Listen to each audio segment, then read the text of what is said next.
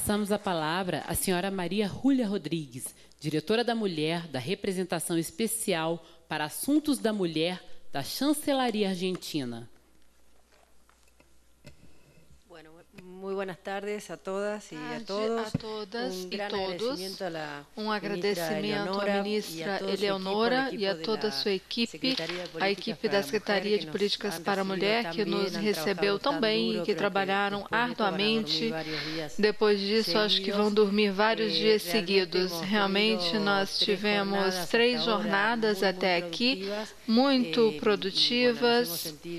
E nós nos sentimos que apoiada sua equipe. Então, em seu nome, eu agradeço a todas.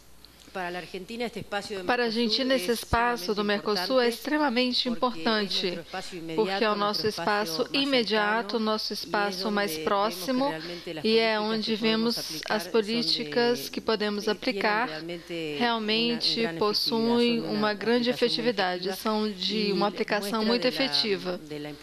E mostra a importância que nós es, designamos a este espaço. A delegação que me acompanhou, composta por funcionários de todos os ministérios, de muitos dos ministérios que estão envolvidos nesta Eh, temática. Estamos, eh, como disse a ministra, estamos avançando bastante na região.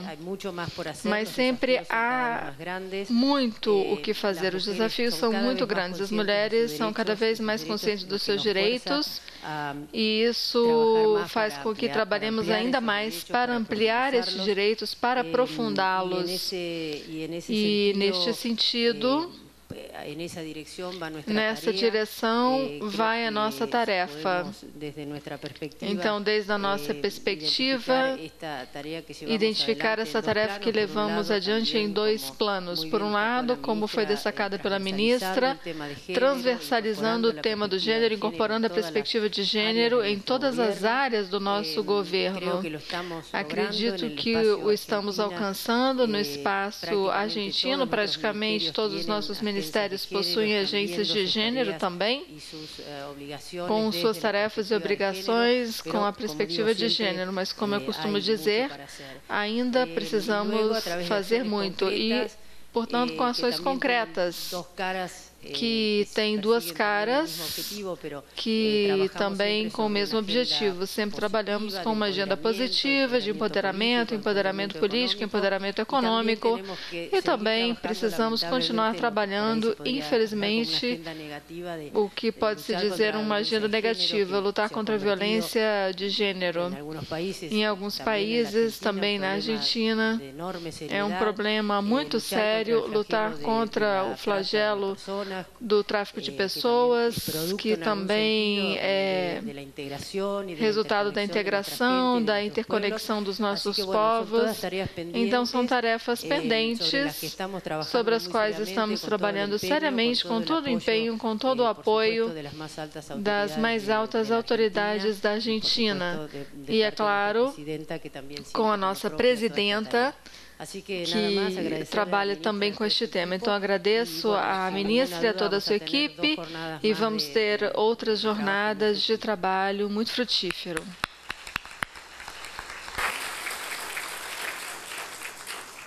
Passamos a palavra à senhora Beatriz Ramírez, diretora do Instituto Nacional das Mulheres do Uruguai. Boa tarde a todos e a todas. Muito obrigada, ministra Menecurti, por ser anfitriã desta articulação com a agenda de gênero. É um, uma honra compartilhar a mesa com as embaixadoras da Argentina e da Venezuela.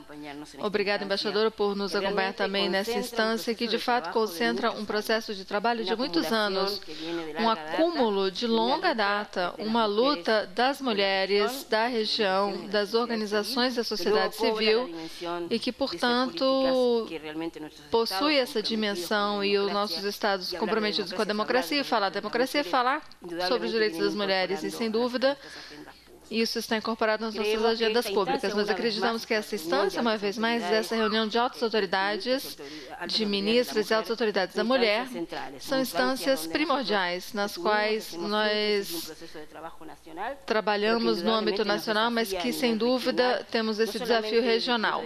Não apenas do ponto de vista de ver como colocamos os temas de gênero na agenda do Mercosul, em todos os outros âmbitos do âmbito regional, mas também, particularmente este ano, e a ministra trouxe isso, também colocar isso na agenda internacional. Essas duas instâncias que nós teremos Cairo mais 20 Uruguai, como a instância do consenso Dominicana, eu acho que é um momento muito importante de reflexão para os estados, para a sociedade civil e para estas forças em favor dos direitos das mulheres, porque isso nos possibilita ter uma agenda articulada, uma renda que dialoga, uma renda que acumula um processo que nos permite avançar e este é o nosso objetivo primordial. Como país, trazer as nossas saudações, as saudações do nosso presidente, do nosso povo uruguaio, das mulheres uruguaias em particular.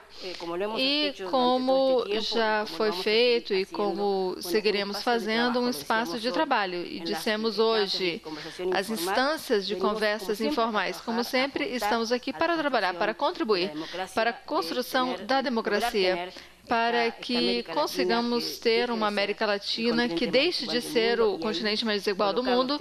Então, colocar os temas de gênero, colocar a luta das mulheres é um elemento central para poder diminuir com essas brechas da desigualdade. Muito obrigado pelo esforço. Agradecemos em particular as nossas equipes, que já há vários dias estão trabalhando e que realmente nós aqui resumimos um processo de trabalho e também outras instâncias que não puderam participar. E também agradeço às organizações da sociedade civil que, sem dúvida, colocam de uma forma comprometida as agendas e as preocupações com relação à pobreza, educação, que são os pontos centrais para as mulheres. Então, autonomia econômica, autonomia física e autonomia na tomada de decisão continua sendo um eixo central da luta dos nossos estados e da nossa sociedade. Então, por essa agenda, continuaremos trabalhando o que ainda nos resta de vida. Muito obrigada. Passamos a palavra à senhora Judith Lopes Guevara, vice-presidenta do Instituto Nacional da Mulher da Venezuela.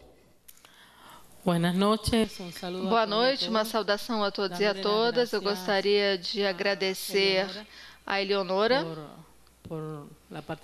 pela participação nossa aqui, mas eu gostaria de dizer que a nossa participação no Mercosul é muito importante para falar a respeito dos avanços da Venezuela em matéria de gênero, em políticas, o que investe o Estado venezuelano na prevenção da violência e os avanços que nós temos e que estiveram presentes na mesa de hoje na mesa de gênero e que estava parecida conosco na mesa. E discutimos, então, tudo o que se refere à violência de gênero e como a Venezuela está avançando nesta matéria, tanto no ponto de vista administrativo como no ponto de vista jurídico. Então, é um terreno justamente para disseminar como os direitos humanos são defendidos na Venezuela e os direitos humanos das mulheres, porque a violência de gênero para Venezuela é um problema de Estado. Por essa razão,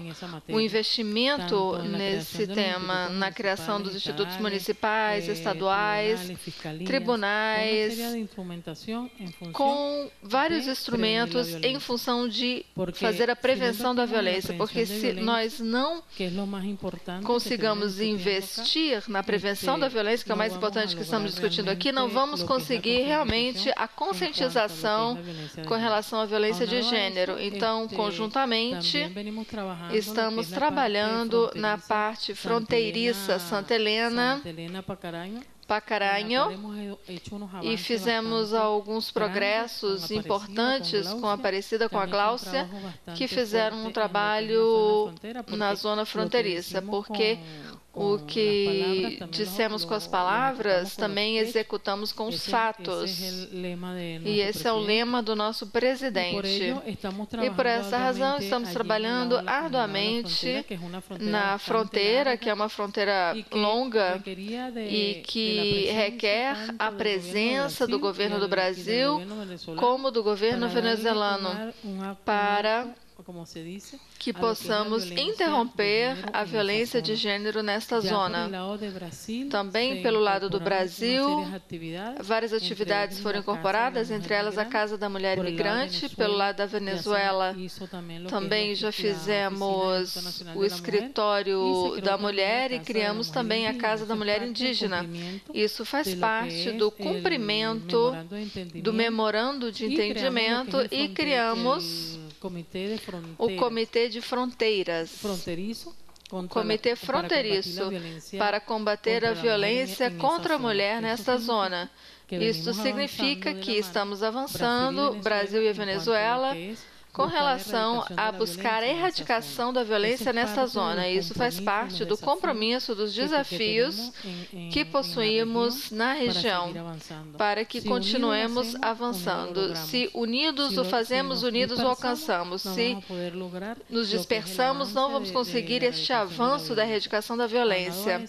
Conjuntamente, também eu gostaria de dizer que devemos aprofundar mais sobre as políticas com a perspectiva de gênero dentro do Mercosul. E este é um desafio por parte de todas nós, propô-lo e defendê-lo na mesa, como o estamos fazendo, Brasil e Venezuela, dando cumprimento ao que possuímos. Então, parte disso é essa grande importância que tem a Venezuela na participação do Mercosul para que possamos divulgar o que nós conseguimos avançar e como os direitos humanos são defendidos na Venezuela. Então, isso também é de grande importância e realmente devemos deixar materializado aqui. E, de fato, nós já passamos informações sobre os avanços, sobre as contribuições que podemos fazer no marco do Mercosul. E, bom, e agradecer também a todas por essa colaboração conosco. De fato, tivemos um tratamento muito especial, a organização aqui do Brasil, na reunião de hoje. E veja, eh, a nossa participação nossa da Venezuela, vocês vão ver mais adiante como estamos avançando. Também nós temos a nossa participação nas outras mesas de trabalho da Venezuela, com uma equipe multidisciplinar organizada, em função de tomar com seriedade a nossa participação no Mercosul. E, bom, faz parte dos desafios continuar avançando conjuntamente, trocando experiências na região e buscar criar instrumentos para que sejamos semelhantes, para que isso se aplique no Mercosul. Então, obrigado a todos e a todas.